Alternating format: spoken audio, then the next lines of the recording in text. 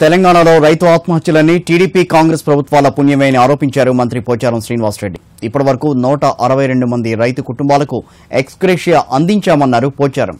ఇంకా రెండు వందల ఇరవై ఒక్క మంది రైతులకు ఎక్స్గ్రేషియా అందించాల్సి ఉందని అన్నారు మంత్రి పోచారం. గత అనేక సంవత్సరాలు ఈరోజు రాష్ట్రంలో తెలంగాణ రాష్ట్రంలో ఆత్మహత్యలు అనేది కొత్తగా తెలంగాణ రాష్ట్రం ఏర్పడ్డ తర్వాత తెలంగాణ ప్రభుత్వం ఏర్పడ్డ తర్వాతనే జరుగుతున్నట్టుగా వీళ్ళు చిత్రీకరిస్తున్నారు.